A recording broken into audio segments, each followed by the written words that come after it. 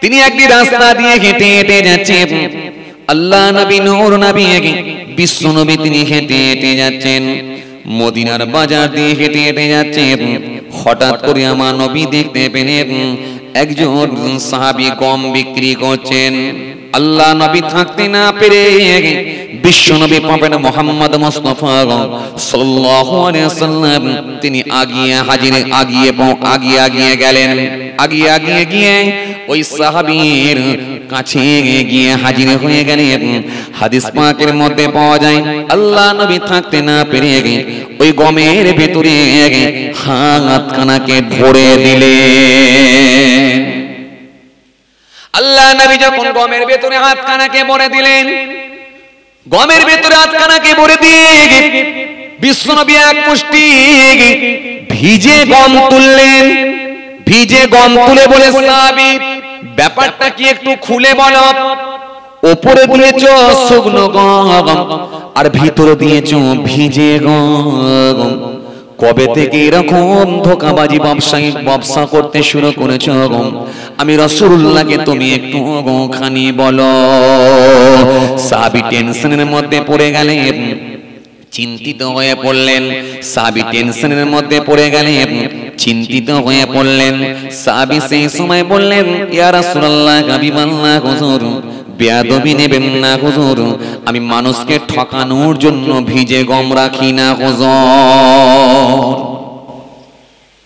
আমি মানুষকে ঠকাই না হুজুর। আমি আপনার সাহাবি মিথ্যা বলি না হুজুর। তো কি ব্যাপার? ভিতরে ভিজে গম আর ওপরে শুকনো গম। এরকম ধোকাবাজি ব্যবসায়ী কবে থেকে শুরু করেছ? এরকম প্রতারণা কবে থেকে শুরু করেছ? এরকম ভাবে মানুষকে ঠকাতে শুরু করেছ তুমি তো ঠকবাজ। হ্যাঁ? বিশ্বনবী একটু রাগান্বিত হলে রেগে গেলেন। সাহাবী বলে ইয়া রাসূলুল্লাহ গায়বাল্লাহ ওয়াজাব ওয়াল্লাহ নবী বিয়াদবি নেবেন না। মদিনার বাজারে কোনো চোর নাই। মদিনার বাজারে কোনো ডাকাত নাই। মদিনার বাজারে কোনো পকেট মার নাই। আপনি অবাক হয়ে যাবেন। সেই সাহাবী তিনি দেখলেন তৎকালীন সময়ে সাহাবীদের আমলে কোনো চোর ছিল না। আজও পর্যন্ত মদিনা শরীফ মক্কা শরীফে যান। একটাও চোর আপনি পাবেন না। চলুন আমি আপনার সামনে যে কথা বোঝাতে চাইছিলাম। আল্লাহ নবী, বিশ্ব নবী, নূর নবী, আমার থাকতে না পেরে যখনই গমের বস্তার ভিতরে হাতখানা ঢোকালেন, এক মুষ্টি গম তুললেন, তুলে বলেন ওপরে সুগুণ গম আর ভিতরে ভিজে গম। এরকম ধোকাবাজি ব্যবসা কবে থেকে শিখেছ বলো এরকম ধোকা মারা এরকম ভাবে ধোকাবাজি করা। কবে থেকে তুমি শিখেছ একবার বলো? সাহাবি বলে আর রাসূলুল্লাহ, হাবিবাল্লাহ বিয়াদবি নেবেন না হুজুর আমি কাউকে ধোকা দেই না কারোর সঙ্গে প্রতারণা করি না হুজুর বিয়াদবি নেবেন না গতকালকে আমি গম বিক্রি করছিলাম মদিনার জমিনে কোনো চোর নাই মদিনার জমিনে কোনো ডাকাত নাই হুজুর বিয়াদবি নেবেন না গতকালকে আমি গম বিক্রি করছিলাম ওই গম বিক্রি করতে করতে ওজন আস্তে আস্তে আস্তে আস্তে সন্ধ্যার হাওয়া সন্ধ্যা হয়ে গিয়েছিল। সন্ধ্যা হয়ে যাওয়ার পর বেশ কিছু অবশিষ্ট গম রয়ে গিয়েছিল। আমি মনে মনে ভাবলাম, খামাখাই করে গমের বস্তাটা কেন? কাঁধে করে কষ্ট করে নিয়ে গে আবার নিজের বাড়িতে যাব। আবার সকাল বেলায় গমের বস্তা নিয়ে কেন আবার কষ্ট করে আসব গো? সুতরাং যেখানে কোনো চোর নাই, কোনো ডাকাত নাই। তাহলে এখানে যদি বস্তাটা রেখে দিয়ে চলে যাই কোনো সমস্যা হবে নাই। ইয়া রাসূলুল্লাহ হাবিবাল্লাহ হুজুর খোলা আকাশের নিচে আমাদের আমাদের কোনো ঘেরা দোকান নাই উপরে কোনো ছাওয়ার ব্যবস্থা নাই হুজুর। হুজুর। তাই ফাঁকা জায়গায় ওই গমের বস্তাটা আমি রেখে দিয়ে চলে গিয়েছিলাম। গমের বস্তাটা ফাঁকা জায়গায় রেখে দিয়ে চলে গেলাম। ওয়াল্লাহ নবী বিয়াদবি নেবেন না। বস্তা ফাঁকা জায়গায় রেখে দিয়ে চলে যাবার কারণেতে রাতের অন্ধকারে আকাশ থেকে কিছুটা শিশির পড়েছে ওজোর। ওই শিশিরগুলো, ওই গমের বস্তার উপর পড়েছে ওজোর।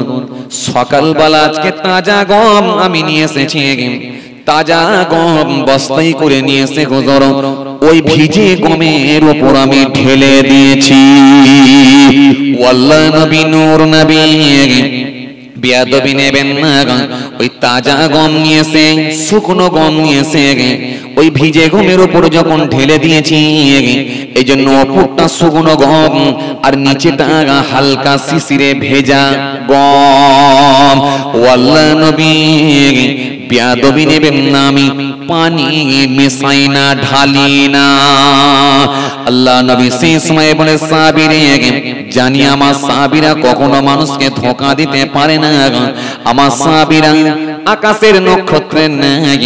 সুতরাং আমার সাবিরা কখনো মানুষের সঙ্গে প্রতারণা করতে পারে না বাবা সাবি আমি বুঝতে পেরেছি তবে একটা কথা শোনো সাবি আজকে যখন তুমি গম নিয়ে এলে, ওই ভিজে গমটাকে কেন তুমি আলাদা রাখলে না গতকালকের আজকে যখন শুকনো গম নিয়ে লেগে ওই শুকনো গমটাকে কেন আলাদা রাখলে না? গতকালকের ভিজে গমটাকে কেন আলাদা রাখলে না লোকে আসতো শুকনো আর ভিজে গম দেখে নিত। যা যেটা পছন্দ দেখে কিনে নিয়ে যেত। তুমি কি জানো না যে মানুষকে ধোকা দেয়, সে কখনো মোমেন বলে গণ্য হতে পারে না।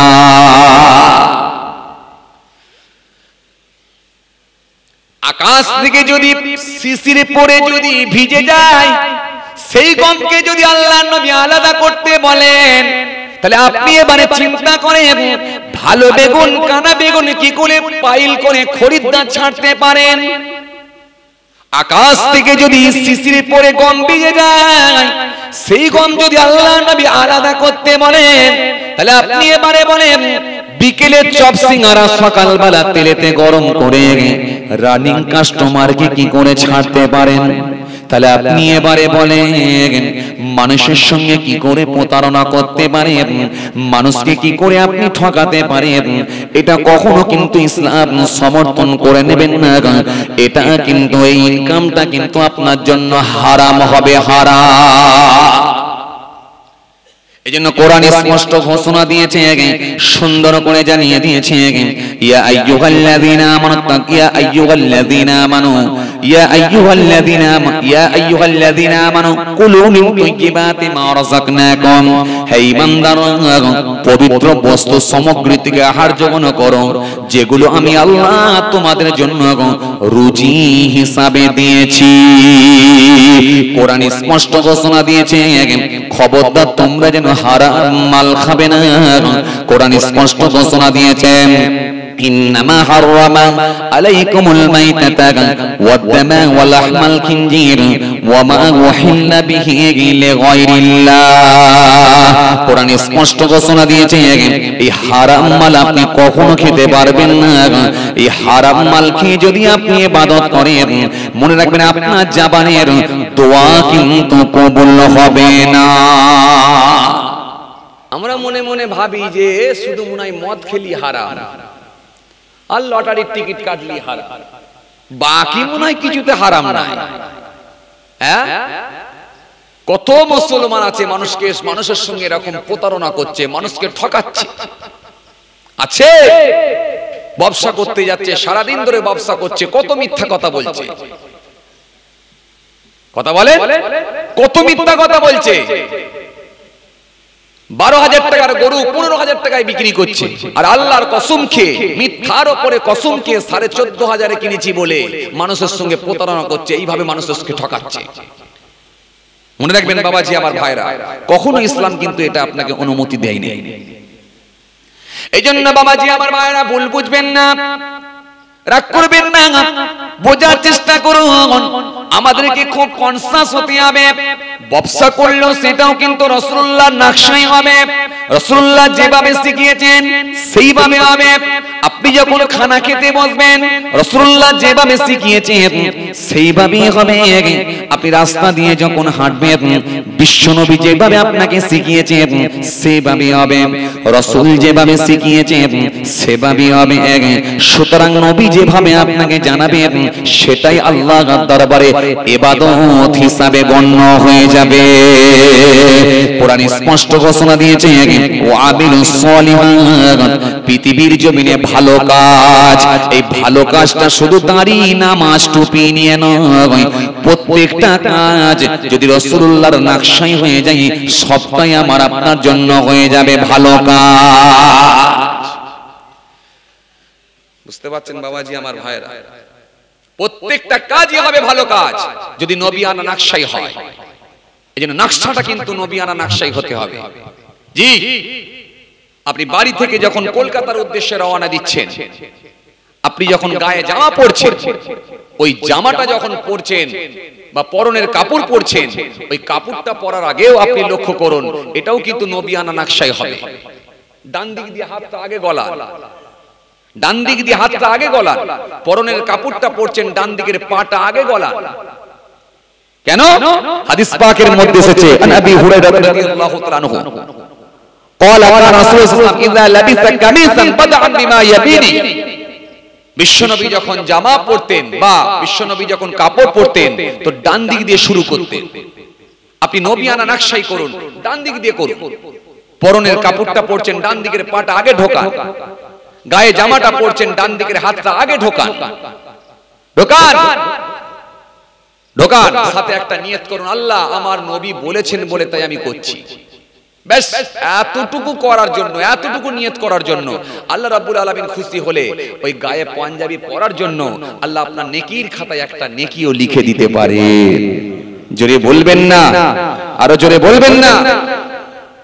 আপনি জামা যখন পরছেন, আপনি চেষ্টা করুন কলিদার পাঞ্জাবি নেসপু সাখ যেন হয়, ওটা হবে সুন্নতি লেবাস। কলিদার পাঞ্জাবি নেসপু সাখ ওটা হবে সুন্নতি লেবাস। নেসপু সাখ কোন জায়গাটাকে বলা হয়? আপনারা জানেন, এই যে পায়ের গিরা দেখা যাচ্ছে আর হাঁটু, এই মিডিল মাঝামাঝি, এই জায়গাটা, এই পর্যন্ত ঝুল হবে, কলিদার পাঞ্জাবি হবে। ওটা আপনার জন্য সুন্নতি লেবাস হবে। আপনি নিয়ত করুন, আমার নবী বলেছেন তাই করছি। আপনি চেষ্টা করুন, সাদা জামা পরব। সাদা জামা পরলে কি হবে? সাদা হলো অকৃত্রিম কালার। সাদা হলো অকৃত্রিম কালার। অল্প ময়লা লাগলেই বোঝা যায়। এই সাদা জামাটা আপনি পরার চেষ্টা করুন। যখন পরছেন, একটু নিয়ত করুন, আমার নবী বলেছেন তাই পরছি। ব্যাস। ওই সাদা জামা পরলে আবার একটা সুন্নত হয়ে যাবে। আবার একটা আপনার নেকির খাতায় নেকি লেখা হবে। এবারে আপনি যদি বলেন আমি রঙিন জামা পরি কাজ কারবার করি আমাকে রাস্তাঘাটে চলতে হয় বা যেতে হয় এতে সমস্যা না সমস্যা কিছু নেই। আপনি যে কোনো কালারের পাঞ্জাবি পরতে পারেন এতে অসুবিধা কিছু নেই। অবশ্যই আপনি পরতে পারেন। তবে একটা কালার খালি পরা যাবে না সেটা হলো গেরুয়া কালার। এই কালারটা বাদ দিয়ে পরলেই হবে। ওটা বাদ দিয়ে পরবেন। যে কোনো কালার ব্লু কালার হোক নীল কালার হোক সবুজ কালার হোক আপনার ব্রাউন কালার হোক, বাদামি কালার হোক, কালো কালার হোক, যে কোনো কালার পরেন, সমস্যা কিছু নেই। এগুলো হলো মুবা, ভালো, সমস্যা কিছু নেই। তবে টকটকে লাল কালারটা পরবেন না। টকটকে লাল কালারটা ইসলাম কিন্তু পছন্দ করেনি। মোহাম্মদ সাল্লাম তিনি ওটাকে সাপোর্ট করেননি টকটকে লাল কালার যেটা চোখে লাগা কালার এই কালারটাকে একটু বাদ দেন। ব্যাস, আর গেরুয়া কালারটাকে ছেড়ে দেন। বাকি যে কোনো কালার পড়তে পারেন। তবে যদি আপনি সাদা কালার পরেন আমার বলা উদ্দেশ্য এটা আপনি একটু নিয়ত করেন যে আমার নবী বলেছেন বলেই তো আমি পড়ছি ব্যাস। কেন? এগুলো ছোট ছোট কাজ এগুলো আমরা ছাড়বো কেন? ছাড়বো কেন? একটা সুযোগ আছে যখন ছাড়বো কেন? আল্লাহ যখন বলেছে ও আমিল সলিহাত ভালো কাজগুলো করো। ভালো কাজগুলো করো। এই ভালো কাজগুলো আমরা করে নেব সুযোগ যখন আছে। চায়ের দোকানে বসে চা খাচ্ছেন হঠাৎ করে দেখছেন একটা কুকুর এসে আপনার ডান দিকে, বাঁ দিকে ঘোরাঘুরি করছে। ঘোরাঘুরি করছে। সে যেন একটু ক্ষুধার্ত বলে মনে হচ্ছে। আপনার পাশাপাশি এদিক ওদিক ঘোরাঘুরি করছে। দুটো বিস্কুট কিনে তার সামনে দিয়ে দেন। খাক না সে। ওই কুকুরটা খেয়ে নিয়ে যখন চলে যাবে, আল্লাহ রাব্বুল আলামিন খুশি হলে, রাজি হলে, এটাও আপনাকে আল্লাহ রাব্বুল আলামিন এর বিনিময়ে নাজাত দিয়ে দিতে পারেন। যদি বলবেন না, কেন আপনি তো গ্যারান্টি দিতে পাচ্ছেন না যে আমি দাঁড়িয়ে রেখেছি মানে জান্নাতি। আমি নামাজ পড়ছি মানে জান্নাতি। আমি মাথায় টুপি দিয়েছি মানে জান্নাতি। এই গ্যারান্টি কিন্তু আপনার কাছে নাই। হ্যাঁ? বারো বছর করে যদি একটা কুকুরকে পানি খাইয়ে ওই ভালো কাজটা যদি আল্লাহ কবুল করে নিয়ে যদি তাকে জান্না দিতে পারে, তো আপনার আমার ভালো কাজ আল্লাহ কবুল কেন করতে পারে না? আল্লাহ ইচ্ছা করলেই করতে পারেন। দুটো বিস্কুট খাইয়ে আল্লাহ ইচ্ছা করলে আপনাকে জান্না দিতে পারে। কেন? আমার আল্লাহ দয়াময় দয়ার সাগর। কাকে কোন দিক দিয়ে মাফ করবেন সেটা আমার আল্লাহ জানে। আল্লাহ আল্লাহ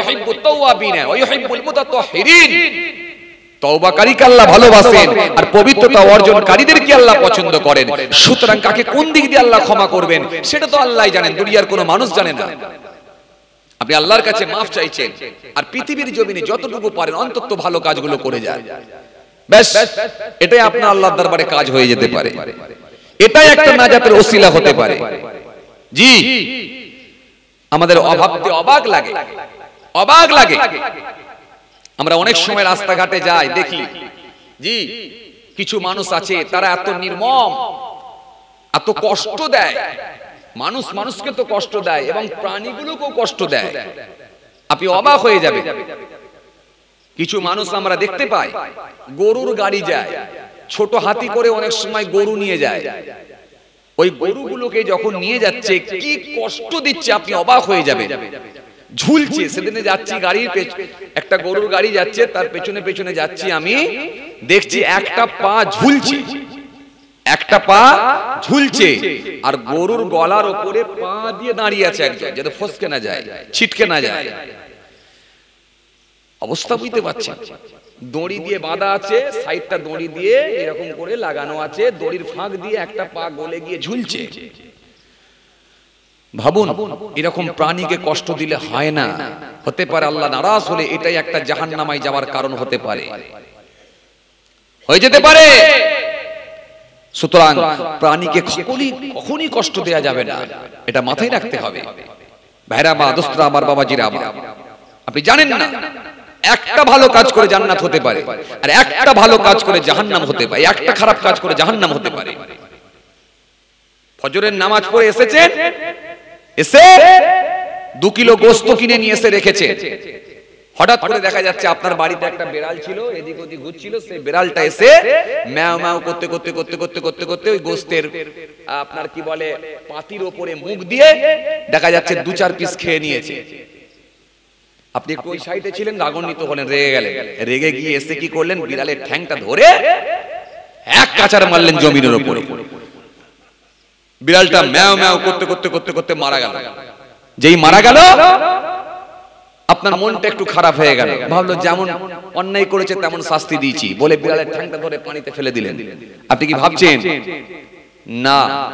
এই যে প্রাণীর উপর আপনি কষ্ট দিলেন, এটাও একটা জাহান নামে যাবার কারণ হতে পারে। এটা একটা আপনার জন্য কাবিরা গোনা হয়ে পারে। সুতরাং ভাইরা আমার দোস্তরা আমার, বাবাজিরা আমার, ভুল বুঝবেন না, রাগ করবেন না, বোঝার চেষ্টা করেন। পৃথিবীর জমিনে যতটা পারা যায় অন্তত ভালো কাজ করতে হবে। ভালো কাজগুলো করতে হবে। এই ভালো কাজ আপনি করবেন, আপনি আর আমার আল্লাহ ছাড়া তৃতীয় কোনো ব্যক্তি জানবে না। এইরকম ভাবে যদি কিছু ভালো কাজ রেখে যেতে পারেন ইনশাল্লাহ এতে আপনার আল্লাহর দরবারে কাজ হয়ে যেতে পারে। হতে পারে। আপনার বাড়ির দরজার সামনে এসে কেউ একজন ঠোকা মারছে করে ঠোকা মারছে। আপনি একবার দরজাটা খুললেন। হাজি সাহেব লোক, ঘাড়ে একটা গামছা ছিল। গোসল করতে যাচ্ছেন। আপনি একটু বিরক্তি হয়ে গেলেন, বিরক্ত হয়ে গেলেন, একটু রাগান্বিত হলেন। বিরক্তি প্রকাশ করে যখন দরজাটা খুললেন খুলে দিলেন একজন ফকির সাহেব দাঁড়িয়ে আছে আপনার একটু রাগ হয়ে গেল। রেগে গিয়ে বলেন "আহ, তোর টাইম টেবিলের কোনো জ্ঞান নাই দুপুরবেলা এসেছিস? যা মুখে ছিল দু চার কথা বলে দিলেন। ওই ফকির সাহেবের মনটা খারাপ হয়ে গেল। তখন মনটা খারাপ হয়ে গিয়ে আপনার কাছে পয়সা কি চাইবে? দুপুরে এক মুঠো খাবার কি দিতে বলবে? তার আগেই তো আপনি লাল চোখ দেখিয়ে যা পাচ্ছেন বলে দিচ্ছেন। ফকির সাহেবের মনটা তখন খারাপ হয়ে গেছে চোখ ভরা পানি নিয়ে বুক ভরা বেদনা নিয়ে চলে যাচ্ছে। আপনি কি ভাবছেন জান্নাতে যাবেন? অত সহজ না।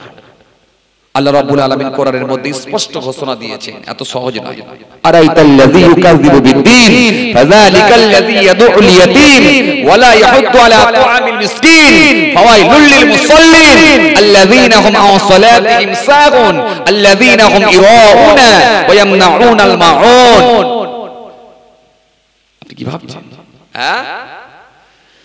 যারা মিসকিনকে খেতে দেয় না, যারা মিসকিনকে খাদ্য দেয় না, এতিমের সঙ্গে যারা খারাপ ব্যবহার করেছে, মিসকিনকে ঘাড় ধাক্কা দিয়ে বের করেছে হাওয়াই লুল্লিল মুসল্লিন, ওই নামাজিদের জন্যই হলো কপাল ফাটা। কপাল ফাটা? একটা অন্যায় করেছেন, সেটাই আমার আল্লাহর কাছে খারাপ লেগে যেতে পারে। আপনার পঞ্চাশ বছরের নামাজ আল্লাহ ডিলিট করে দিতে পারে। আপনার চল্লিশ বছরের দাড়ি কাল্লা ডিলিট করে দিতে পারেন। একটা অন্যায় করার জন্য। সেটাই আমার আল্লাহর কাছে খারাপ লেগে গেছে। হতে পারে। এই জন্য খুব সাবধানতার সঙ্গে আমাদের চলতে হবে। খুব হিসাব করে জীবন যাপন করতে হবে। যা খুশি তাই বলব বললে হবে না। যা খুশি তাই করব বললে হবে না। আমি মসজিদে নামাজ পড়ছি মানে নিজেকে বিরাট কিছু মনে করলে হবে না। আমার মুখে দাঁড়িয়ে আছে মানে বিরাট কিছু মনে করলে হবে না। খুব হিসাব করে চলতে হবে। হিসাব করে চলার নামই হলো আপনার পৃথিবীর জায়গাটা হিসাব করে চলার নাম। হিসাব করে যদি আপনি জীবন যাপন করতে পারেন চলতে পারেন তবেই আমার আল্লাহ খুশি হলে আপনাকে জান্নাত দিতে পারে। এত সহজ নয় বাবাজি আমার ভাইরা জান্নাতে যাওয়া খুব সহজ আবার জান্নাতে যাওয়া খুব কঠিন। খুব কঠিন। যদি আল্লাহ রাব্বুল আলামিন কাউকে মাফ করে দেন, তার জন্য জান্নাতে যাওয়া খুব সহজ। আর যদি বলে হিসাব বুঝে নেব, তাহলে জান্নাতে যাওয়া তার জন্য খুব কঠিন। হিসাব যদি বলেন বুঝে নেব, তাহলে জান্নাতে যাওয়া তার জন্য খুব কঠিন। এত সহজ নয়। আপনি যদি এই ফকির সাহেবের সঙ্গে ওই রকম ব্যবহারটা না করে, বরং তার সঙ্গে একটু মিষ্টি কথা বলে, মার্জিত ভাষায় কথা বলে, খুব নরম সুরে কথা বলে বলেন, ভাই এসো আমার বাড়িতে এসো ভাই দুপুর বেলায় এসেছ? আহ ঘেমে গেছো ভাই একটু পাকার তলায় বসো। পাকার তলায় বসালেন বসিয়ে বলেন ভাই দুপুরে খাওয়া দাওয়া হয়েছে? না হাজি সাহেব খাওয়া দাওয়া হয়নি। কখন বেরিয়েছিলে? সে সকালে আটটা থেকে ঘুরছি। দুপুরে খাওনি? খাওয়া হয়নি। আচ্ছা দাঁড়াও তুমি বসো বসো বাড়িতে দেখছি। যদি এক মুঠো ডাল ভাত যা আছে তোমার জন্য আমি ব্যবস্থা করছি। এটা যদি করতে পারতেন আমার আল্লাহ খুশি হয়ে যেতেন। আর এটাই তো বিশ্বনবী শিখিয়েছে। ওয়াইজা বাতুদ দাওয়াত। এটাই তো বিশ্বনবী শিখিয়েছে। কিন্তু আমরা আজকে সিস্টেমটা উল্টো উল্টো আমরা আজকে সিস্টেমটাকে উল্টে দিয়েছি। আমরা মনে মনে ভাবছি খালি মনে হয় বিআইকে দাওয়াত করে খাওয়াতে হয়। আল্লাহ রাসূল বলেছেন, দাওয়াত করো, দাওয়াত কবুল করো। দাওয়াত মানুষকে যে দাওয়াত করব বা দাওয়াত কবুল করব, আমরা মনে মনে ভাবছি যে খালি মনে হয় বিআইকে খাওয়াতে হয়। আর না হলে বুনাই কি দাওয়াত করে খাওয়াতে হয়? জুম্মার দিনে মসজিদে গেছেন। মসজিদে গিয়ে নামাজ পড়েছেন। সুন্নাত নামাজগুলো পড়েছেন। সুন্নাত নামাজগুলো পড়ে নিয়ে মসজিদের গেটের সামনে দাঁড়ান। সব থেকে শেষে কে বেরোচ্ছে দেখুন। সব থেকে শেষে যিনি আসছেন। সব থেকে শেষে যিনি আসছেন। আপনি তাকে গিয়ে সালাম দেন, আসসালামু আলাইকুম। উনি বলবেন ওয়া আলাইকুম আসসালাম। আপনার লোকটাকে দেখে যদি মনে হয় অপরিচিত মানুষ, তাহলে আপনি তাকে জিজ্ঞাসা করুন, ভাই, আপনার বাড়ি কোথায়? ওই মানুষটা নিশ্চয়ই আপনাকে বলবে যে, আমার বাড়ি অমুক জায়গায়। যখন বলবে, বিশ কিলোমিটার দূরে কোন একটা গ্রামের নাম যখন বলবে, তখন আপনি বুঝেলেন যে লোকটা তাহলে অনেকক্ষণ আগে বেরিয়েছে। আপনি জিজ্ঞাসা করেন, কোথায় যাবেন? ওই মানুষটা তখন বলছে, আমি মেয়ের বাড়ি যাব। মেয়ের বাড়ি কোথায়? মেয়ের বাড়ি হচ্ছে গোলা বাড়িতে। ও আল্লাহ, এখনও তো অনেক দূর যেতে হবে। ওহ এই দুপুরবেলা সাড়ে বারোটা, পৌনে একটা বেজে গেছে। দুপুরবেলা এখানে জুম্মার নামাজ পড়লেন। বলে টাইম হয়ে গেছিল, তাই মনে মনে ভাবলাম রামনারায়ণপুরের মসজিদে যে নামাজটা পড়েলি তাই পড়তে চলে এলাম। তখন আপনি তাকে বলেন, ভাই, তো মেয়ের বাড়ি যাবে, এখন তো অনেক দূর, এখন তো একটা বেজে গেছে। দুপুরে খাওয়া দাওয়া হয়নি। বলে, না, খাওয়া দাওয়া তো হয়নি, নাস্তায় যে কোনো করে নেব। চলুন আমার বাড়িতে চলুন, আমার বাড়িতে চলুন। বলে, হাত ধরে বুঝিয়ে যদি আপনি ঘরে নিয়ে গিয়ে এক মুঠো ডাল ভাত খাইয়ে দিতে পারেন ওই মানুষটা আপনার উপর খুশি হয়ে যাবে। আর ওই মানুষটা খুশি হয়ে গেলে আমার আল্লাহ আপনার উপর খুশি হয়ে যেতে পারেন। জোরে বলবেন না সুবহানাল্লাহ। এটা আমার নবী শিখিয়েছে। বিশ্বনবী প্রফেট মোহাম্মদ মুস্তাফা সাল্লাল্লাহু আলাইহি সাল্লাম তিনি দরবারে আছেন। হঠাৎ করে দেখা যায় একজন মেহমান আল্লাহ রসুল দরবারে এসে হাজির হয়ে গেল। বিশ্বনবী মোহাম্মদ মুস্তফা সাল্লাল্লাহু আলাইহি ওয়াসাল্লামের দরবারে একজন মেহমান এসে হাজির হয়ে অতিথি। আল্লাহ নবী সেই সময় থাকতে পারলেন না। বিশ্ব নবী থাকতে না পেরে গে আমার নবী থাকতে না পেরে গে বললেন, যাও, ভিতরে কে কে আছে দেখো। সাহাবীদের ভেতরে অনেক সাহাবী বসে আছে আল্লাহ নবী একজনকে বললেন, যাও, আমার বাড়িতে তুমি একবার যাও। বাড়িতে গিয়ে একটু আমার আহালিয়ার কাছে খবর নিয়ে এসো। আমার বাড়িতে কি কোনো খাবার আছে? বিশ্বনবীর বাড়িতে যাওয়া হলো। বিশ্বনবীর বাড়িতে গিয়ে খবর নেওয়া হলো। বিশ্বনবীর আহলিয়া জানিয়ে দিনে রসুল্লাহ সাল্লাহ সাল্লামকে গিয়ে জানিয়ে দাও, পানি ছাড়া বাড়িতে আর কোনো খাবার নাই। আহ! গরিবের সংসার অভাবের সংসার ঘরেতে পানি ছাড়া কিছু নাই। অথচ সেই বিশ্ব নবী প্রফেট মোহাম্মদ মুস্তাফা সাল্লাম যদি একবার বলতেন আমার আল্লাহ ওহুদ পাহাড়টাকেও সোনা করে দেবেন বলেছিলেন। যদি বলেন না তিনি গরিবটাই পছন্দ করে নিয়েছিলেন। এই জন্য বিশ্ব নবীর বাড়িতে পানি পর্যন্ত কিছু নাই। কি কষ্ট কি কষ্ট কি কষ্ট। হাদিস পাকের মধ্যে পাওয়া যায় আল্লাহ নবী, নূর নবী, বিশ্ব নবী, একদিন রাত্রে তিনি ঘরের ভিতর থেকে বেরিয়ে পড়েছেন। হঠাৎ করে আল্লাহ নবী বাইরে বেরিয়ে দেখতে পান বড় খলিফা সাথে আবু বকর সিদ্দিক রাদিয়াল্লাহু তাআলা রাসূলুল্লাহর বড় খলিফা তিনিও বেরিয়ে পড়েছেন। আল্লাহ নবী জিজ্ঞাসা করলেন, হে আবু বকর, তুমি কেন বেরিয়েছো আবু বকর বলল, ইয়া রাসূলুল্লাহ, হাবিবাল্লাহ, হুজুর, খোদার জ্বালা যন্ত্রণা সহ্য করতে না পেরে বাইরে বেরিয়ে পড়েছি। হুজুর, পেটের মধ্যে কিছু না খাবার নাই, বাড়িতে কোনো খাবার নাই, তাই আমি থাকতে না পেরে খোদার যন্ত্রণায় আমি বাইরে বেরিয়ে পড়েছি। হযরতে আবু বকর সিদ্দিক বললেন, তুমি কেন হযরতে আবু বকর সিদ্দিক বলি রাসূলুল্লাহ আপনি কেন বেরিয়েছেন? আল্লাহ নবী বলে, হে আবু বাক্কার তোমাকে যে জিনিসটা বার করে নিয়ে এসেছে আমি রাসূলুল্লাহকেও সেই জিনিসটা বার করে নিয়ে এসেছে। তার মানে আবু বাক্কা সিদ্দিকি বুঝতে পেরে গেলেন, আমার রাসূলুল্লাহর পেটের মধ্যে কিছু না তিনিও না খেয়ে আছেন, খোদার জ্বালা যন্ত্রণায় তিনিও থাকতে না পেরে বাইরে চলে এসেছেন। আল্লাহ নবী বললেন, তাহলে চলো একটু আগিয়ে যাই, আমার সাহাবীর বাড়িতে একটু যাই। কিছুটা যাওয়ার পরে আর একজন খলিফা, হযরত ওমর ফারুক রাদিয়াল্লাহু তাআলা সঙ্গে দেখা হয়ে যায়। আল্লাহ নবী জিজ্ঞাসা করলেন, তুমি কেন বেরিয়েছ? সাহাবী সালাম দিয়ে বলে, ইয়া রাসূলুল্লাহ, হাবিবাল্লাহ, হুজুর, খোদার যন্ত্রণা সহ্য করতে না পেরে বাইরে বেরিয়ে পড়েছি, হুজুর। আল্লাহ নবী বললেন, চলো, তাহলে আমরা তিনজন মিলে যাই। আমার সাহাবীর বাড়িতে একবার খালি যাই। সাহাবীর বাড়ির দরজার সামনে গেলেন।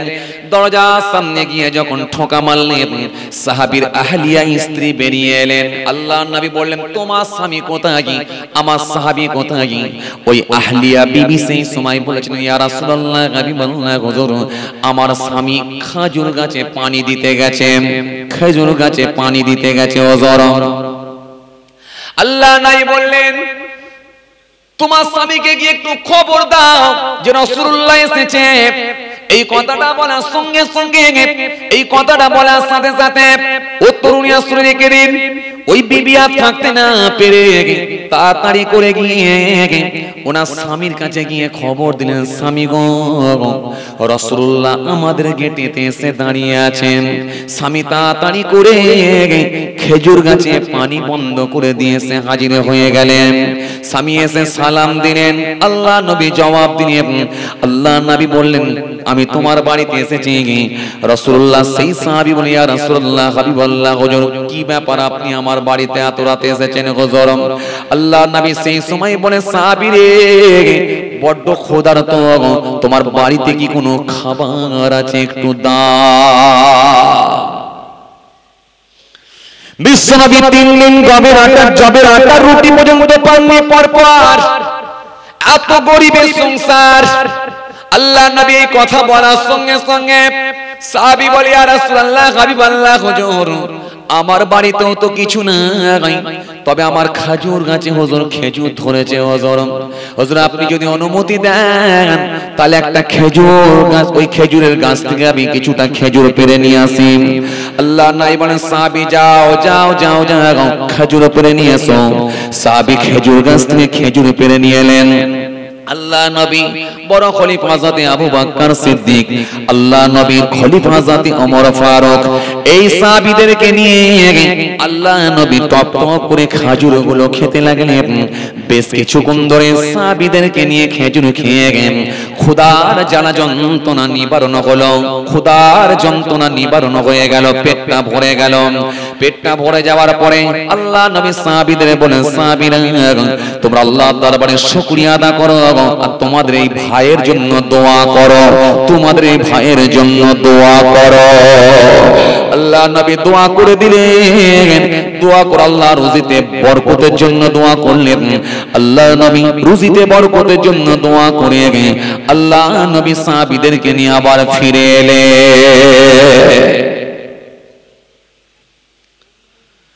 হ্যাঁ একবার ভেবেছেন? আজকে আমরা বাড়িতে কি নাই? বাড়িতে কি নাই? ফ্রিজ ভর্তি মাল আপনার। কিচেন রুমে দেখতে যান, একবারে কিচেন রুম ভর্তি মাল আপনার স্টকে রাখা আছে। তবু আপনি এত নিষ্ঠুর, একটা ভিক্ষুক এসেছে, তাকে পর্যন্ত আপনি একবেলা খাওয়াতে পাচ্ছেন না। পাচ্ছেন না? এজন্য আল্লাহ রাব্বুল আলামিন ফাওয়াইলুল লিল মুসাল্লিন, ওই নামাজীদের জন্য হলো কপাল ফাটা। এজন্য কোরআন স্পষ্ট ঘোষণা দিয়েছে। ওয়াতুল ইয়াতামা আমওয়ালাহুম ওয়ালা তাতাবাতুল খাবিথা বিত-তাইয়্যিব। ওয়ালা তাকুলু আমওয়ালাহুম ইলা আমওয়ালিকুম। ইন্নাহু কানা হুবান কাবীরা। কোরআন আপনাকে সব শিখিয়েছে সব জানিয়েছে। চলুন খেয়াল করুন লক্ষ্য করুন। এই মেহমান যদি আপনার দরজার সামনে আসে পাঠিয়ে দেবেন না। মসজিদ থেকে বেরোনোর সময় শেষে কে বেরোচ্ছে একটু খবর রাখেন। একটা ফেরিওয়ালা হতে পারে, একটা কাপড়ওয়ালা হতে পারে, একটা অসহায় ব্যক্তি হতে পারে। মসজিদে নামাজ পড়েছে, সে নিজেও জানে না তার রুজি আল্লাহ কোথায় রেখেছে। আপনি তুলে নিয়ে গিয়ে বাড়িতে যদি ওকে এক মুঠো খাওয়াতে পারেন, আল্লাহ আপনাকে অনেক সওয়াবের হকদার করে দেবে। যে কথা আমি আপনাদের সামনে বুঝাতে বুঝাতে চলে আসছিলাম, বিশ্বনবীর দরবারে একজন মেহমান এসে হাজির হলো। মনে আছে তো আপনাদের? বলতে বলতে চলে এলাম। বিশ্বনবীর দরবারে একজন মেহমান এসে হাজির হয়ে গেল। মেহমান এসে যখন হাজির হয়ে গেছে, আল্লাহ রসুল সাল্লাম বললেন, যাও, বাড়িতে যাও, বাড়িতে কোনো খাবার আছে নাকি খবর দাও? খবর নিয়ে দেখা গেল বাড়িতে কিচ্ছু নাই, পানি ছাড়া কিছু নাই। আহ! আল্লাহ নবীর মনটা একটু খারাপ হয়ে গেল। বিশ্ব নবীর মনটা একটু খারাপ হয়ে যাবার পর আল্লাহ নবী তাকতে না পেরে সাহাবীদের মুখের দিকে তাকাতে লাগলেন। সাহাবীদের মুখের দিকে যখন তাকাতে শুরু করে দিয়েছে সাহাবীরাও একে অপরের মুখের দিকে তাকাতে লেগেছেন। আল্লাহ নবী, নূর নবী, বিশ্ব নবী থাকতে পারলেন না। সাহাবীদেরকে লক্ষ্য করে বললেন, বাবা সাহাবীরাম তোমাদের বাড়িতে এমন কি কেউ আছো এমন কি কেউ এখানে আছো যে তোমাদের বাড়িতে খাবার আছে আজকে আমার মেহমানকে নিয়ে গিয়ে একটু মেহমানদারি করাতে পারবে।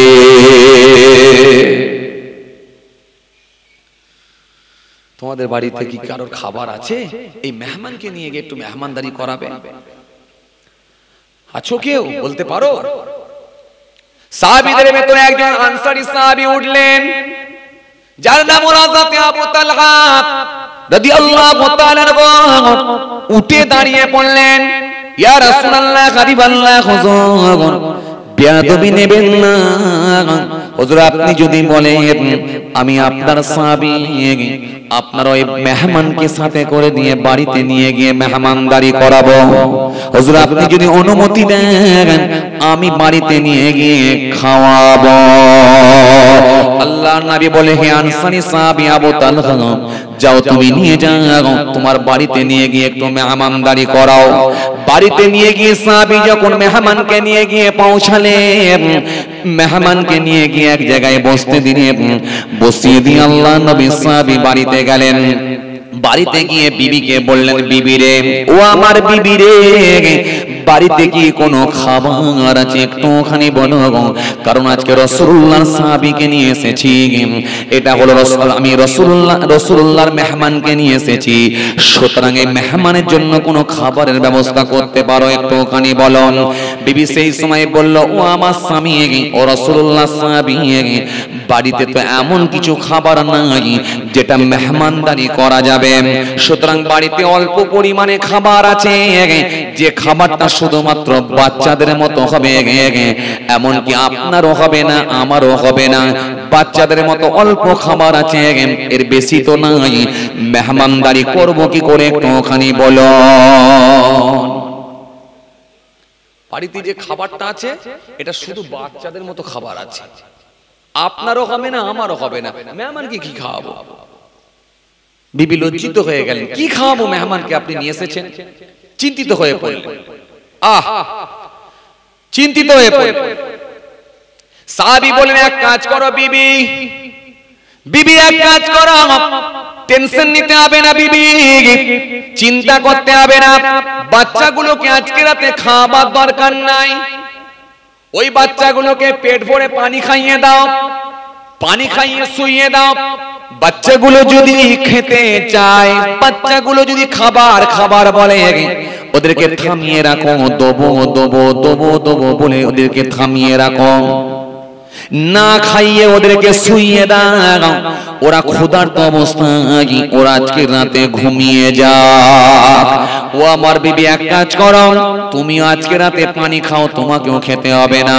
ও আমার বিবি, শোনো আজকে রাতে আমি রসুল্লাহর সাহাবি, আমিও খাব না।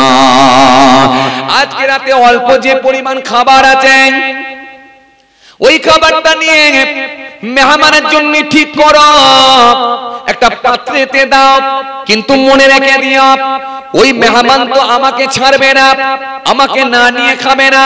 সুতরাং ওই মেহমান যখন আমাকে নিয়ে বসবে, আমি মেহমানের সঙ্গে খেতে বসবো ঠিকই।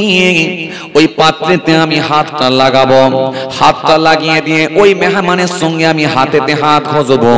হাতেতে হাত ঘর্ষণ হবে, হাতেতে হাত ঘষবো। হাতেতে হাত ঘর্ষণ হবে। ও বিবি শুনে রেখে দাও।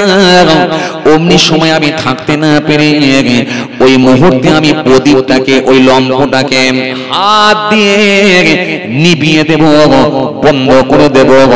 অন্ধকার হয়ে যাবে। অন্ধকার যখন হয়ে যাবে, ওই মেহমানের সঙ্গে হাতে হাত ঠেকাবো, হাতে হাত লাগাবো, হাতে হাত ঘষবো ওই মেহমানটা মনে করবে আমার সঙ্গে খাচ্ছেন। ও আমার বিবি, শোনো, মুখটা খালি আমি নাড়াবো, খেলে যেরকম আওয়াজ হয় ওই রকম মুখটা নাড়িয়ে নাড়িয়ে আমি আওয়াজ করব। কিন্তু বিবি, শুনে রেখে দাও, এক লোক মাগো আমি খাব না ওই মেহমানটা আস্তে আস্তে আস্তে আস্তে খাবে খাবে খাবে। খেতে খেতে খেতে খেতে, ওই মেহমানের ক্ষুদাটা নিবারণ হয়ে যাবে, পেটটা ভরে যাবে। ওই মেহমান ভাববে যে রসুল্লাহ সাবিও খাচ্ছে, কিন্তু আমি এক লোকমাও খাব না। আমিও না খেয়ে থাকব। বিবি আজকে আমরা মেহমান কি খাওয়াবো। চলো রসুল্লাহর মেহমানকে খাওয়াই। এই কথা বিবিও মেনে নিলেন। আহারে বিবির মতো বিবি। এই কথা বিবিও মেনে নিলেন। বাচ্চাদেরকে ভুকা অবস্থায় রেখে দেবে। বাচ্চাদেরকে পানি খাইয়ে দিয়ে দিচ্ছি দিচ্ছি বলে বাচ্চাগুলোকে ঘুম পড়িয়ে দেয়া হলো। বাচ্চাগুলোকে ঘুম পড়িয়ে দিয়ে রসুল্লাহ সাহাবি থাকতে না পেরে বিবিকে বললেন বিবি এবার মেহমানের জন্য খাবার রেডি করো। একটা পাত্রে যখন মেহমানের জন্য খাবার রেডি করে দেওয়া হলো মেহমান বলল ও রসুল্লাহ সাহাবি আপনিও আমার সঙ্গে আসেন। রসুল্লাহ সাহাবি তিনিও গিয়ে বসলেন। বসে পড়ে ওই সময় ওই পাত্রেতে হাত খানা লাগাতে লাগলেন। হঠাৎ করে ওই সাহাবি নিজের হাত খানা দিয়ে ওই প্রদীপ, ওই লম্ফটা, ওই আলোটাকে হাত দিয়ে নিবিয়ে দিলেন। যখনই অন্ধকার হয়ে গেল, অন্ধকার হয়ে যাবার পরে ওই সাহাবির হাতে ওই সাহাবি নিজের হাত খানা নিয়ে ওই মেহমানের হাতেতে হাত খানা ঠেকাতে লাগলেন। আর সাহাবি মুখটাকে নাড়াতে লাগলেন। মুখটাকে খাওয়ার মতো আওয়াজ করতে লাগলেন। যাতে করে ওই মেহমান মনে মনে ভাবতে লাগল, সাহাবি মনে হয় খানা খাচ্ছে। এইভাবে সাহাবি এক লোক মাও না খেয়ে মেহমানকে খাইয়ে দিলেন। সাহাবি এক গালো খেলেন না, এক লোক মাও খেলেন না। এক লোকমাও না খেয়ে সাবি নিজের মুখে না দিয়ে খানাকে সামনে রেখে পুরো না খেয়ে রয়ে গেলেন। মেহমান পুরোটাই খেয়ে নিলাম। খাওয়া হয়ে যাওয়ার পরে ওই মেহমানের শোয়ার জায়গা করে দিলেন। মেহমান শুয়ে পড়ল। ফজরের নামাজ খানা আদায় করলেন। ফজরের নামাজ খানা পড়ে নিয়ে গে ওই রাসূলুল্লাহ সাহাবী গুটি গুটি গুটি গুটি পায়ে আল্লাহ নবী গে বিশ্ব নবীর দরবারে গিয়ে হাজির হয়ে গেলে। বিশ্ব নবীর দরবারে গিয়ে হাজির হলেন। আল্লাহ নবীকে গিয়ে সালাম দিলেন। আসসালামু আলাইকুম ইয়া রাসূলুল্লাহ। বিশ্ব নবী আমার সালামের জবাব দিলেন। আল্লাহ নবীকে সালাম দিলেন বিশ্বনবী জবাব দিলেন বিশ্বনবী সাহাবীর মুখের দিকে একবার তাকালেন, তাকিয়ে মুচকি মুচকি হাসলেন, হেসে বললেন সাহাবী রে গত রাত্রিতে তুমি এমন একটা কাজ করে দিয়েছ, এমন একটা ঘটনা ঘটিয়ে দিয়েছ। আমার আল্লাহ এত খুশি, এত রাজি হয়ে গেছেন। আমার আল্লাহর মালাইকা ফারেস্তারা তোমার জন্য কে কত বেশি নেকি লিখবে কম্পিটিশন করছিলেন। আরও জোরে বলেন। আরও জোরে বলেন, তাহলে একটা মেহমানকে খাইয়েছেন বলে ঠিক এইভাবে নিজেরা না খেয়ে মেহমানকে না বুঝতে দিয়ে ওই করেছেন, আল্লাহ খুশি হয়ে গেছেন। আল্লাহর মালাইকা ফেরেশতারা ওই ওই রাসূলুল্লাহ সাহাবীর জন্য কে কত বেশি নেকি লিখবে কম্পিটিশন করছেন, কে কত বেশি নেকি লিখবে, নেকি লেখা নিয়ে কম্পিটিশন চলছে হ্যাঁ আর আপনি হাজি সাহেব দরজার সামনে একটা ভিক্ষু একটা ভিক্ষুক এসেছে ভিখারি এসেছে তাকে ভিক দেননি। তাড়িয়ে দিচ্ছেন নিজেকে হাজি সাহেব বলে দাবি করছে না এগুলো করবেন না। কোন এমন কাজ আল্লাহ ভালো পছন্দ করে নিতে পারে। এই যে বিশ্বনবী প্রফেট মোহাম্মদ মুস্তাফা আলাইহি সাল্লাম তিনি শিখিয়ে দিয়েছেন এই মেহমানদারিটা করো। মেহমানদারি আমার রাসূলুল্লাহ শিখিয়ে দিয়েছেন করো আপনি যখন আপনাকে কেউ দাওয়াত করবে, সেই দাওয়াতটা যদি বৈধ দাওয়াত হয়, সেই দাওয়াতটা তো আপনি গিয়ে আপনিও গিয়ে তাদের মেহমান হবেন। তবে আপনি মাথায় রাখবেন, ওই দাওয়াতটা যেন বৈধ দাওয়াত হয়। কিছু আছে অবৈধ দাওয়াত, সেগুলো খাবেন না। আমাদের সমাজে দেখবেন কিছু জায়গায় আমরা দেখতে পাই, বরযাত্রীর জন্য আলাদা খানা হয়। বরযাত্রীর জন্য আলাদা খাবার হয় আর প্রতিবেশী গ্রামের মানুষদের জন্য আলাদা খাবার হয়। কেন গ্রামের মানুষকে খাওয়ালে খুব বেশি নাম পাওয়া যাবে না কিন্তু বরযাত্রী এসেছে অনেক দূর থেকে, দেগঙ্গা থেকে। ওদেরকে যদি ভালো করে খাওয়াই, তাহলে ওরা গিয়ে গ্রামে সুনাম করবে। বসিরহাট নাম নারায়ণপুরের গ্রামের লোকটা, ওই মেয়ের বাপটা খুব ভালো ভালো করে খাইয়েছে, চোদ্দ রকমের আইটেম ছিল। কি বলেন আপনারা? এই জন্য বাবাজি আমার ভাইরা এইরকম খানা যেন খেতে যাবেন না। ও তরুণী আশ্রয় রেখে দিন? জেনে রেখে দিন জেনে শুনে যেন এই খানাগুলো খাবেন না। আমাদের সমাজে এরকম আরও কিছু খানা খাওয়াই দেখবেন। অবাক হয়ে যাবেন আপনি। ও তরুণী আশ্রয় রেখে দিন? এমন এমন জায়গায় আমাদের কাছে খবর আছে পীরের দরবারে খাওয়ানো হচ্ছে। মুড়িদদেরকে বিরিয়ানি করে খাওয়াচ্ছে। আর যারা খাসি দিয়েছে, গরু দিয়েছে, মন মন চাল দিয়েছে, সর্ষের তেলের টিন দিয়েছে, তাদেরকে মটন বিরিয়ানি করে খাওয়াচ্ছে, আলাদা জায়গায় আছে। বড় লোকের জন্য আলাদা খাবার আর গরিবের জন্য আলাদা খাবার। সুতরাং ইসলামে এটা সিস্টেম নাই। এই উঁচু জাত, নিচু জাতের ইসলামে কোনো সিস্টেম নাই। অন্যান্য কমিউনিটির মধ্যে এটা দেখা যায়, উঁচু জাত, নিচু জাত নিয়ে তারা এরকম ভাগ করে দেয়। কিন্তু ইসলামের মধ্যে এরকম কোনো সিস্টেম নাই। ইসলাম কখনো এই সিস্টেম কিন্তু শেখায় নাই। ও তরুণিয়া শুনে রেখে দিন, জেনে রেখে দিন এই জন্য আপনি যখন নামাজের পার্টিতে দাঁড়িয়ে যাবেন। কে গোলাম, কে মনি এটা কিন্তু চেনা যায় নাই। মনে হয় সবাই যেন আল্লাহর গোলাম হয়ে দাঁড়িয়ে আছে আরও জুড়ে বলেন।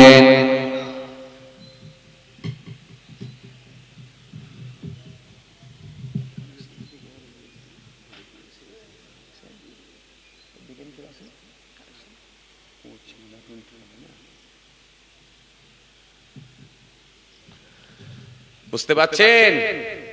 হ্যাঁ? এই জন্য বাবাজি, আমার ভাইয়েরা, আপনারা যদি খবর পেয়ে যান, কোন একটা বার বিয়ে বাড়িতে পোতা নিচ্ছে, যৌতুক নিচ্ছে, ওই বিয়ে বাড়িতে আপনারা খেতে যাবেন না। কোন বাড়িতে যদি আপনি খবর পেয়ে যান শেয়ার মার্কেটের ব্যবসা আছে। ওই হারাম খাদ্য আপনি খেতে যাবেন না। কারোর বাড়িতে যদি বন্ধন কোম্পানিতে নাম লিখিয়ে রাখে, সুদের আওতায় পড়েছে, এই বাড়িতে আপনি খেতে যাবেন না। আল্লাহ রাব্বুল আলামিন জানিয়েছেন আল্লাহু আল্লাহুল বাইকা হারামা রিবা আল্লাহ রাব্বুল আলামিন জানিয়েছেন, ইয়া আইয়ুহাল্লাযীনা আমানু তাকুল্লাহ ওয়া যারু মা বাকিয়া মিনার রিবা ইন কুনতুম মুমিনিন। আল্লাহ রাব্বুল আলামিন বলেছেন, হে ঈমানদারেরা, তোমরা দুনিয়ার সমস্ত রকম ভাগ বকিয়াগুলোকে তোমরা পরিত্যাগ করো। যদি তোমরা মুমিন হও, তোমরা আল্লাহকে ভয় করো। দুনিয়ার সমস্ত রকম ভাগ বকিয়াগুলোকে পরিত্যাগ করো। আল্লাহ রাব্বুল আলামিন বলেছেন ওয়াহাল্লাল্লাহুল বাইয়া ওয়া হাররামা রিবা। কয় বিক্রয় তোমাদের জন্য বৈধ করা হলো সুদ তোমাদের জন্য হারাম করে দেওয়া হলো। সুতরাং সুদ আপনার আমার জন্য, সকলের জন্য প্রত্যক্ষভাবে হারাম করে দেওয়া হয়েছে।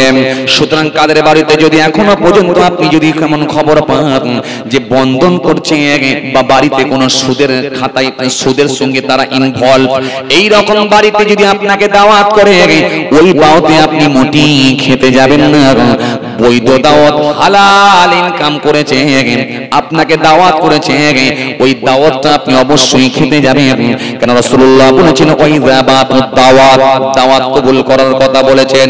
এই হালাল খাদ্য যদি আপনি খান, এটা আপনার জন্য সুন্নত হয়ে যাবে। এবার আপনি যখন দাওয়াত বাড়িতে গেলেন নাম্বার ওয়ান প্রথম কাজ হবে আপনার কবজি পর্যন্ত ধৌত করবেন। দুয়াতের কবজি পর্যন্ত ধৌত করবেন। এই কবজি পর্যন্ত ধৌত করে নেবেন এটা আপনার জন্য সুন্নাত হবে। এরপরে আপনি যখন খেতে যাবেন খেয়াল করেন। নাম্বার টু দ্বিতীয় নাম্বার দস্তরখানা বিছিয়ে বসবেন। আজকের দিনে দস্তরখানা বিছানো হয় না। হোটেলে চেয়ার টেবিলে মানুষ খায়। রেস্টুরেন্টে চেয়ার টেবিলে মানুষ খায়। আমরা দেখতে পাই মানুষের ঘরে ঘরে বড় লোকেদের বাড়িতে বাড়িতে এখন চেয়ার টেবিলের ব্যবস্থা হয়ে গেছে। কথা ঠিক কিনা বল বলেন?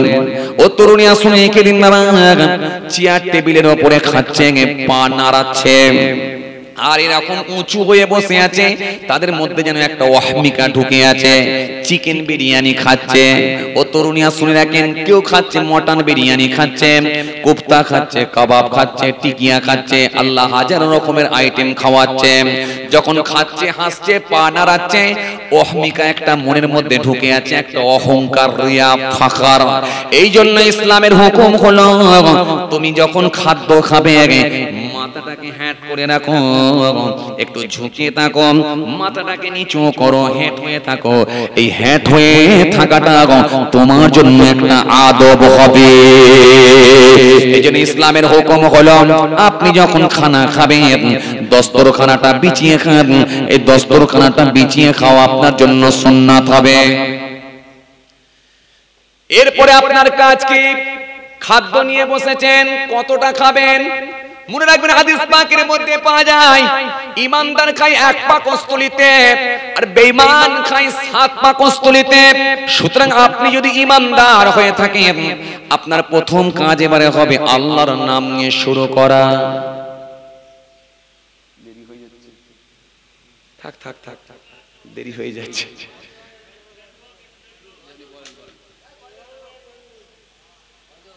বুঝতে পাচ্ছেন না? চলছে মলম পিছুনি কলম। কলম। বোঝেন আপনারা? হ্যাঁ বলে চালিয়ে যাও। থাকবেন আপনারা? জোর করে বলেন থাকবেন। জোর করে বলেন থাকবেন। মাশাআল্লাহ তাহলে একবার তকবীর দেন তো দেখি নারে তকবীর। সবাই মিলে দেন নারে তকবীর। আরও জোর দেন নারে তকবীর। আরও জোর করে দেন না দিবে সিলসিলা মুজাদুল জামা সিলসিলা মুজাদুল জামা ফুরফুরা সবি মাওলানা বাগ দরবার শরীফ পিন্নগর দরবার শরীফ, ফুরফুরা শরীফ না দিবে জোর করে না দিবে আর কুড়ি মিনিট করলে থাকবেন আপনারা? জোর করে বলেন থাকবেন? এই আওয়াজ দিয়ে বলেন থাকবেন? জোর করে বলেন থাকবেন? যা থাকবেন না হাত তুলুন। কটা উঠল বলো তো? বলে, হুজুর, এই চার্জ করে দিয়ে বিপদে ফেলবেন জানিনি তো?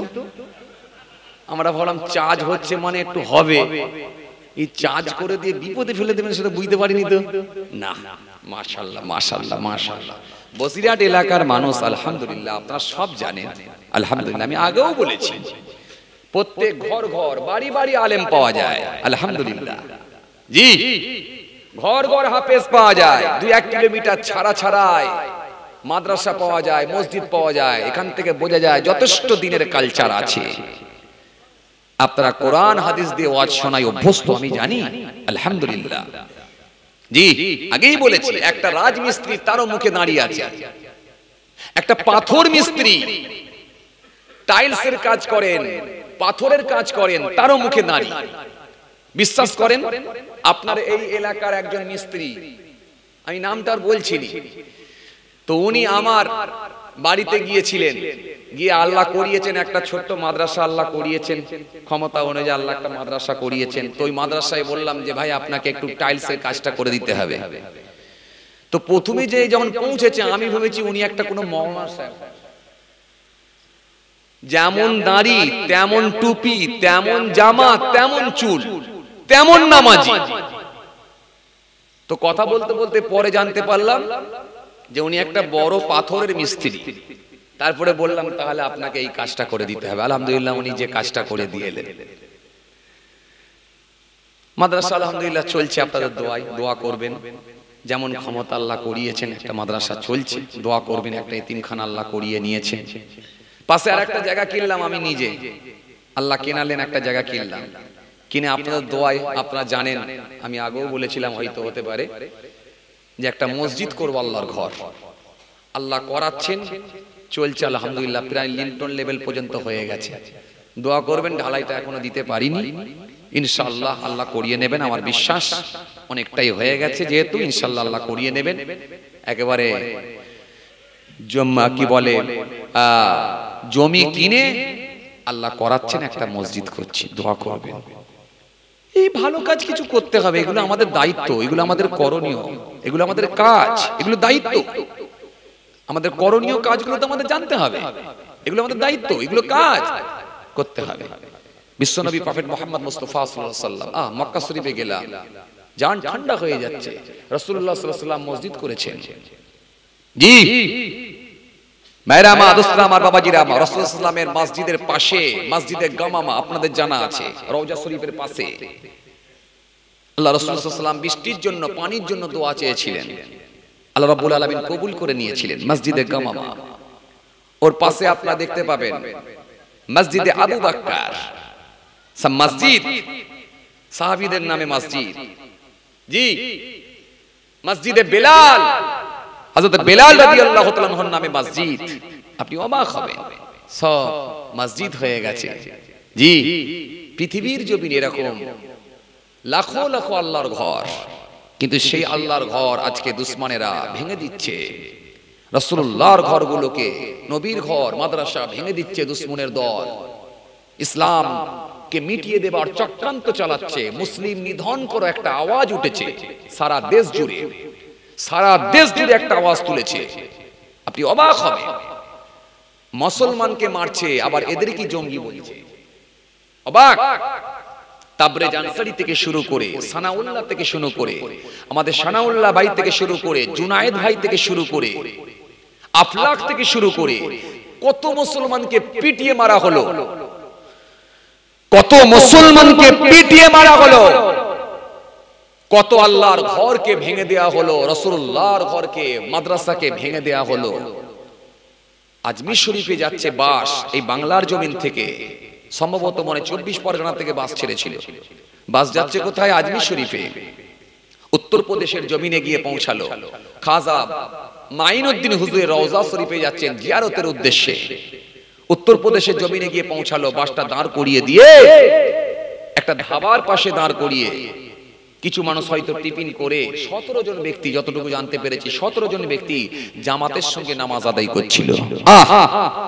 কিছু দুষ্কৃতি, কিছু দেশদ্রোহী, কিছু জঙ্গি তারা এসে ওই মানুষগুলোকে একেবারে প্রত্যেকটা ব্যক্তিকে নামাজি মুসল্লি আল্লাহর সুফি দারবেজ বান্দা, তাদের প্রত্যেককে ওটবোস করালো, কান ধরে ওটবোস।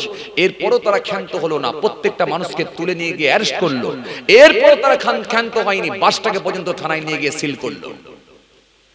অথচ আমরা জানতে পারি, অবাক, এই দেশ হিন্দু মুসলমানের মধ্যে একটা সম্প্রীতি বহু পূর্বে থেকে হয়ে আসছে।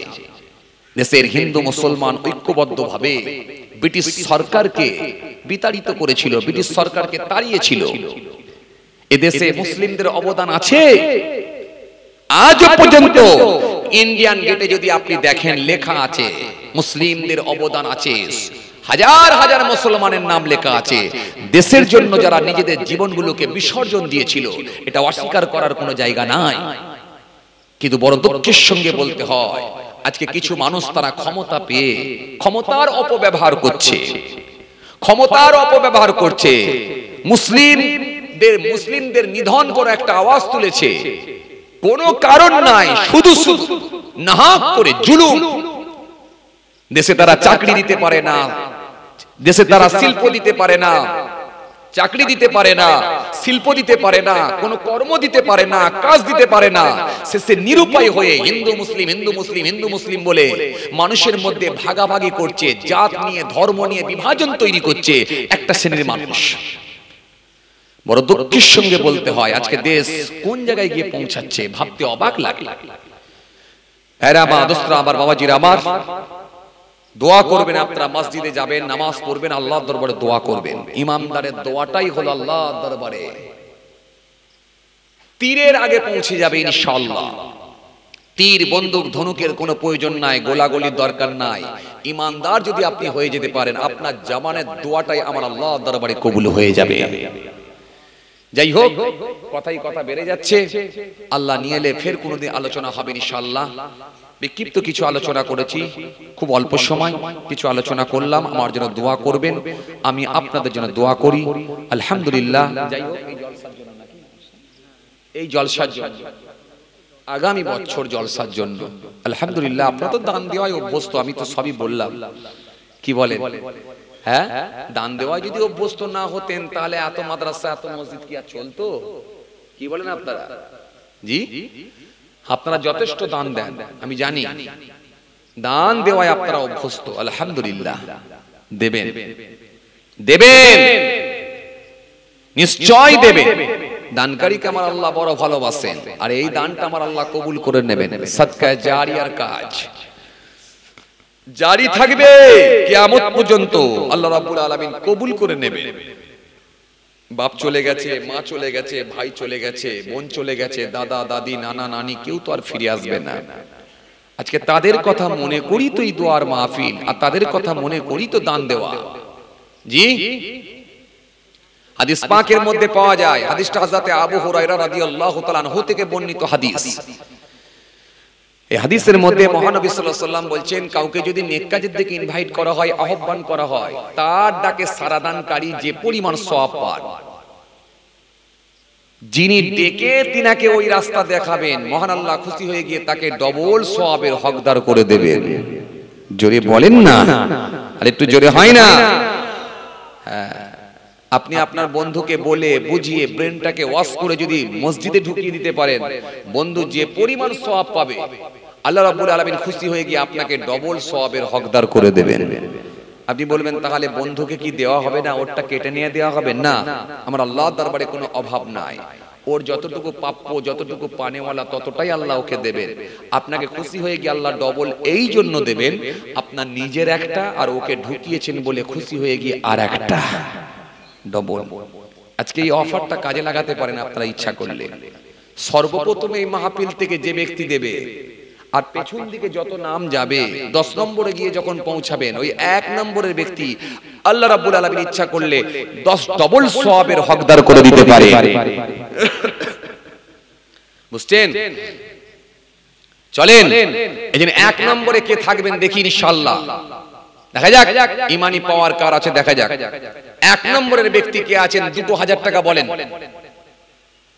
এক নম্বরে যে দেবেন দু হাজার টাকা কে আছেন দেখি ইনশাল্লাহ বলেন একটা কে আছেন দু হাজার টাকা দেওয়ার মতো একটা কে আছেন এক নম্বরে থাকবে ইনশাল্লাহ ওইখান থেকে। আব্দুল মন্নান সর্দার ভাই। আচ্ছা আর একটা কেউ আছেন দু হাজার টাকা এক বছর পর? কই? ওই কোন থেকে দেখেন? এক মুরব্বী চাচা। আলহামদুলিল্লাহ। হ্যাঁ? ফজলুল মন্ডল সাহেব আলহামদুলিল্লাহ আমাদের